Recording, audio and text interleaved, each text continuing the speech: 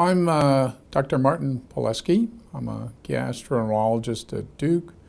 I have a special interest in inflammatory bowel disease, although I have wide experience in general gastroenterology, and I'm also um, director of gastroenterology at the Duke uh, Regional Hospital.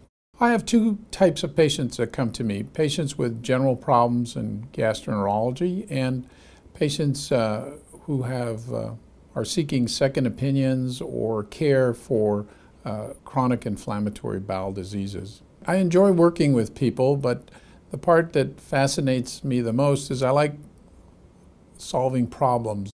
One of the interesting things about gastroenterology is that the, the gut is, is affected by all the other organs in the body, uh, whether it's the mind or the heart or the kidneys. Uh, it, it, sort of often uh, what I call a, an innocent bystander to other problems, and patients often feel issues in their gut, but the problem is often elsewhere.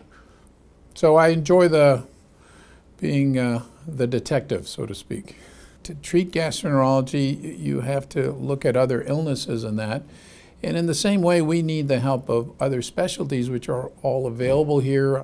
Aside from our own team approach, we have a wider team that's uh, backing us up and helping us, and that it sort of gives me comfort to know that I can really give my patients the best of care here.